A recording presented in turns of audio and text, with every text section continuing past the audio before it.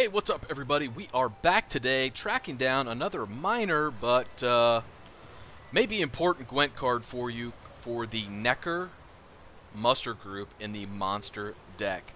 Now, when you're out in Novigrad City proper, just north of the Hierarch Square signpost, there is a notice board. On the notice board, there is a notice that's posted as contract colon monster in the bits when you pick that contract up, it becomes a secondary quest called Following the Thread.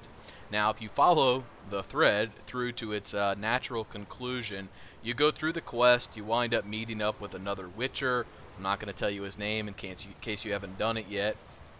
But as you get to the end of the quest, you're going to have to track down someone named Hammond, and after you kill Hammond, if you loot his body, on his body you will find your Nekker monster card.